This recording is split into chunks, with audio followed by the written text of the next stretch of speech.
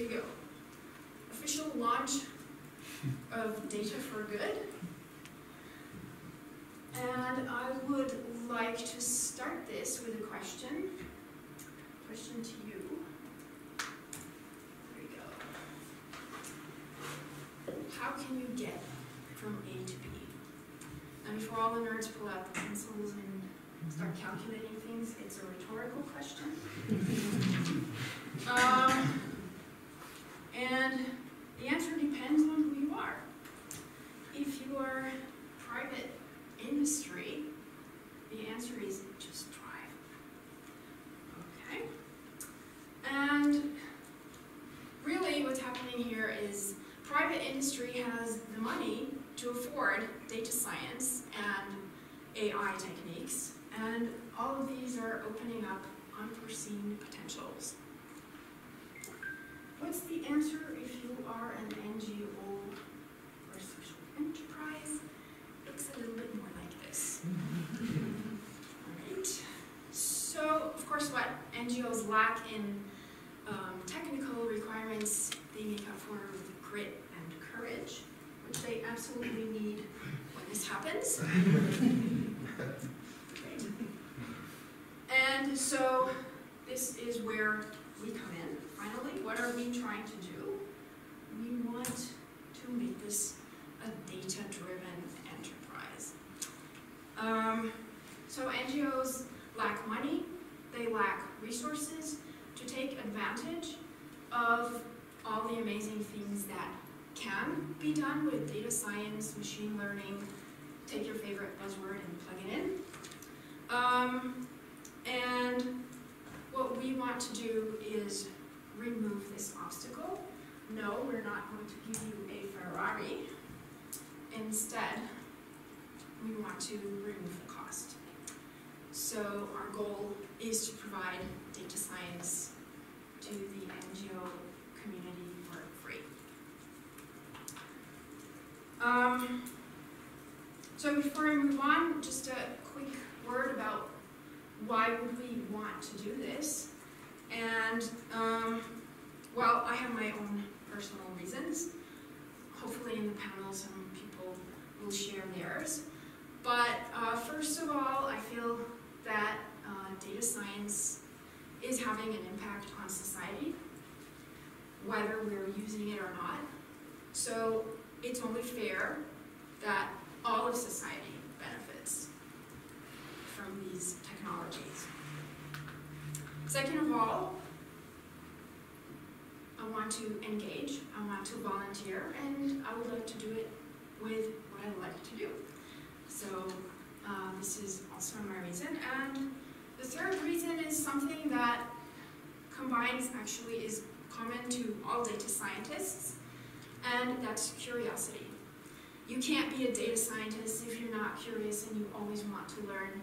And inviting new organizations into the equation means fascinating new problems to work on. So,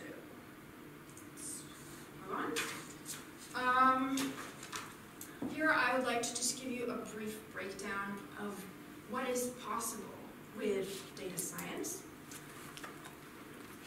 This breakdown does not come from me alone. There are many organizations that have been engaged in this kind of work.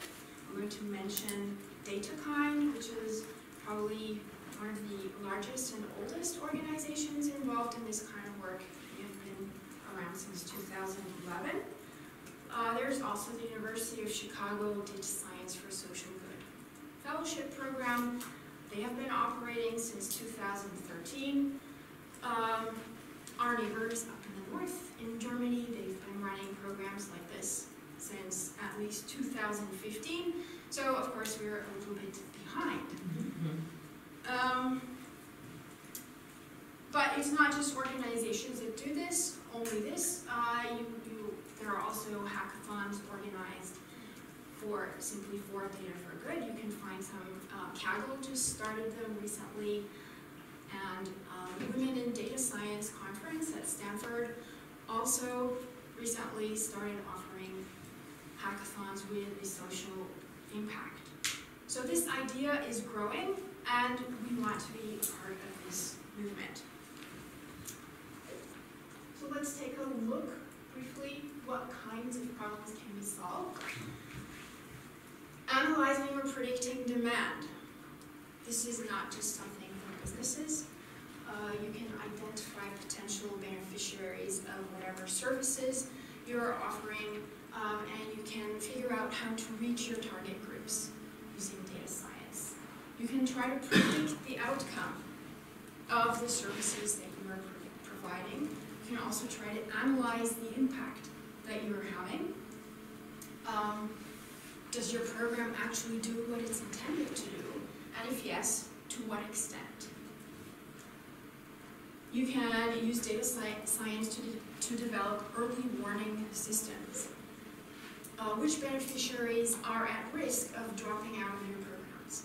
Or, something that's also important for um, NGOs, are you about to lose your volunteers and why?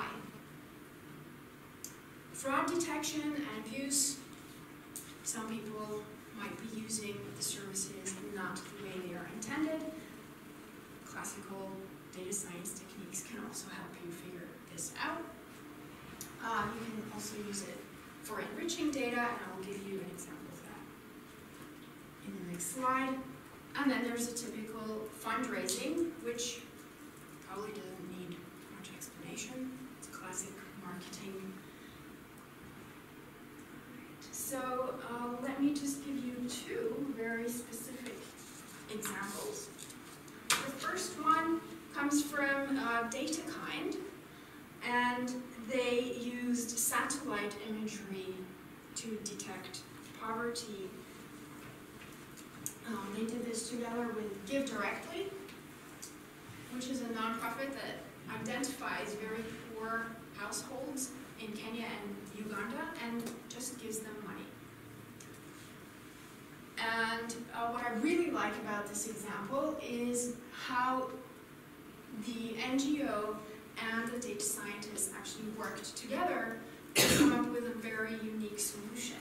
So the NGO, with their on-the-ground knowledge, said, well, we can tell the relative wealth of a household by looking at what kind of roof their houses have. And with this knowledge, the data scientists then said, okay, well, we can detect, is it a thatch roof? Is it a metal roof? Using satellite imagery. And so uh, this problem shows very nicely how working together, they came up with a solution for identifying households that could benefit from their money. Uh, the second example is about enriching data, and this is from the Data Science for Social Good, Berlin. They also hold an annual hackathon, and in 2017, they helped the German Cancer Society start to build up their um, database. So they wanted to build a database um, by scanning sort of like a meta database. So they scanned medical databases, um, extracted publication data, added tags with keywords, and well, this is a very time consuming procedure. So at the hackathon, uh, they explored how you can automate a lot of these tasks. Obviously, in a hackathon, you're not going to build the whole database. But in a hackathon, you can do what's called a proof of concept. So you can figure out, is this possible? And um, this example showed that actually it was. So, what is our timeline? So for our Data for Good program, we are inviting NGOs, social enterprises to get in touch with us. And um, we are also inviting data scientists who are interested in working in this field to um, come talk to us. And we will set you up as our data science leads. And we would like to have this done by the end of October. The next stage would be a matching between the NGO and the data science lead. So once we know the problem, we'll put you in touch with a data scientist who is an expert in your area and interested in following the, pro- the problem through to the hackathon. December through February, we'll be um, working on cleaning up the data, preparing the project so that something useful can actually be done in a hackathon. And the hackathon, we're aiming to do it in February of 2019. All right. So, if you still have questions, you can come talk to us. So, I'm Rania. There is Frederick. And there is Chris. And we're all very friendly people. We don't bite. Um, actually, when you come talk to us, just remember we're probably more afraid of you than you are and so, why should you talk to us? Well, together we can um, brainstorm and figure out ideas on the most effective use of data science for your organization. So no, we are not expecting you to be experts. You just need to know your domain. We will help you figure out what can be solved using data science. Then we will help you um, clean the data and prepare the data, figure out what data you need, what you already have, and what you still need to get. And finally, we will match you with a data science mentor. All right. If there are more questions, um, this is our website, this is our contact email, and we will still be here outside the refreshments, so